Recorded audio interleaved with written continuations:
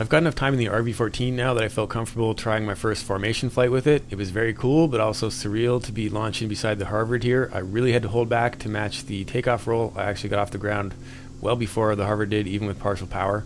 I had my ATC slash pilot buddy along for the ride on this one, Stephen Flies a Mooney, and I appreciate him filming because I didn't take the time to actually rig cameras. We just wanted to go get this flight done and really focus on the flying.